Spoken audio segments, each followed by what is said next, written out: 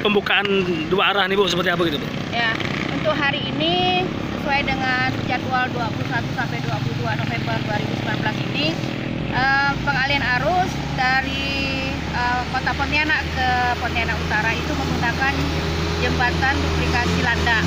Nah, untuk dari Pontianak Utara ke Kota Pontianak itu menggunakan jembatan eh, Landa yang Hmm. lama.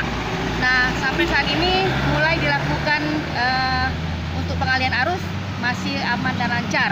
Hmm. Nah, kita tunggu nanti tanggal 23 karena kemungkinan tanggal 23 itu kita lakukan penutupan untuk di tol Landa Lama. Tolongnya lama siap. Ya. Untuk petugas sendiri Bu ada yang ditempatkan Bu ya? Ada, ada ada lima orang petugas yang kita tempatkan membantu untuk eh, PUPR ini melaksanakan tugas agar pengalian arus ini berjalan aman dan lancar. Siap.